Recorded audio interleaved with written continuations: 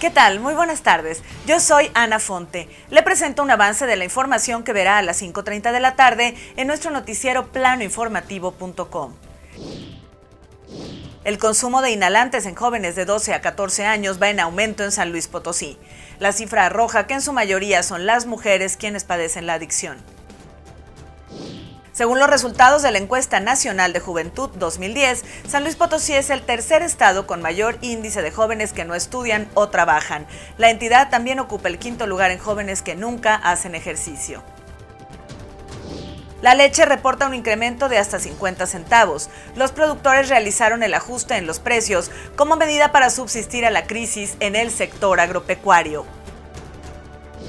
Ante la alza en el precio del huevo, las amas de casa han disminuido la compra de este producto en la canasta básica hasta en un 50%. El huevo en algunos establecimientos se vende hasta en 36 pesos el kilo. Le tendremos un reportaje especial sobre la crisis en la economía familiar ante el alza del huevo.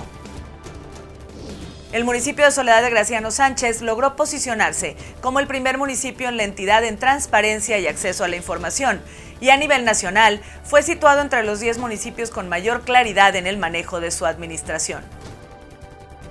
La denuncia ciudadana de víctimas de atracos mediante engaños advirtieron de la presencia de mujeres que se hacen pasar por monjas para cometer ilícitos.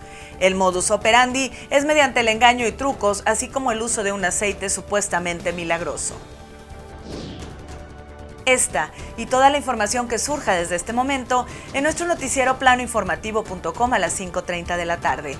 Lo invito para que visite el portal de planoinformativo.com y tenga la información completa de las noticias locales generadas minuto a minuto. También para que nos siga a través de Twitter en arroba planoinforma y en Facebook Plano Informativo.